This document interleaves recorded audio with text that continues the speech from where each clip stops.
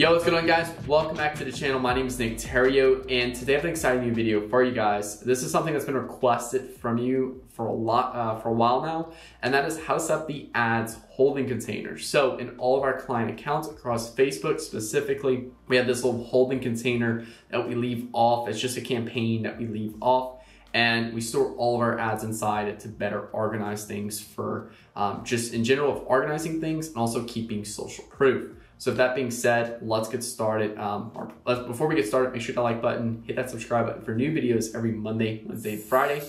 And that being said, let's get started.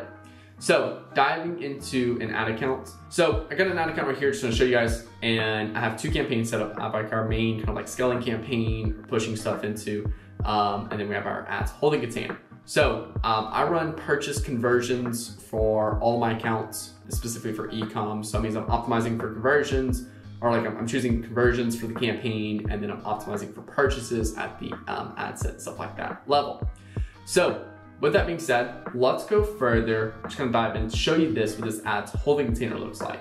So if we go further into it, you can see right here, I have pretty much every month we create a new ad set. And again, we're leaving the ad set off um, you can set up as an ABO. At the end of the day, it doesn't really matter if it's ABO or CBO due to it never run. It's never ever gonna run, okay? Just wanna make sure you're clarified on that.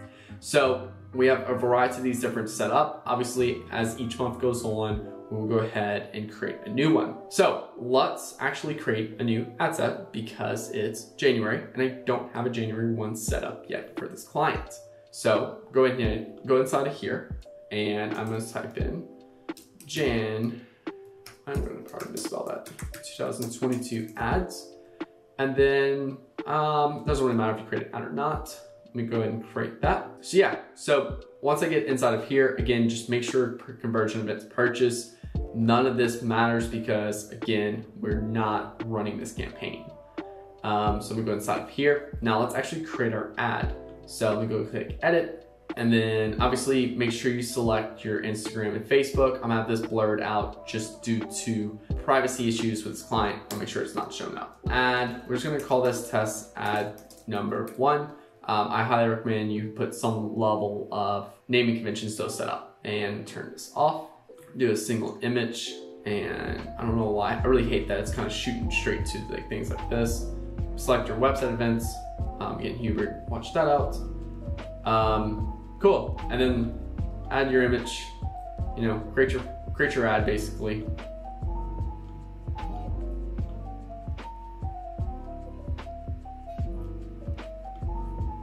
Hey, this is a cool ad. Buy now, please. Um, yeah, cool. And then obviously put your website URL in. Um, and then publish. Again, you would watch all that, please. I know, I'm sorry.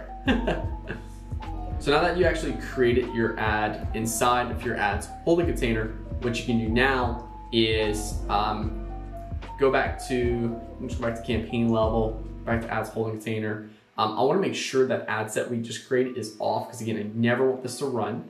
Um, but I can leave the ad on because the ad will never run because that ad set is off. And then what I have right here is basically this ad we just created. You'll see it's still in review. What I want to do is literally just go hit and refresh the whole entire page. And the reason why I like to do that um, is just to make sure everything kind of clears. And then what I'm gonna do next is click on it right here. I'm gonna do preview, and I'm gonna go right here to see Facebook posts with comments. Oh, you're gonna hate me for this. For, you're gonna hate me for this, Hubert. Um, again, Praniva, Praniva. Um, so now that that is previewed, what's gonna happen basically is now is we can get what's called a post ID, which is right here. It's a second string of numbers. So I'm just gonna kind of have that highlighted um, and I'm gonna show you what we're gonna do. So I'm actually gonna copy this ad by hitting Command C um, whatever you, uh, for a Mac, whatever you use for copy and paste for, um, you know what you call it, uh, Windows, you just use that. Then we go back to campaign level, and let's say we want to bring this into a testing campaign, or we want to bring this into a scaling campaign. What I'm gonna do is go to my scaling campaign, and then I'm gonna click on the ad set we wanna paste that ad in. Now I'm just gonna hit Control V to paste it in because we already copied it.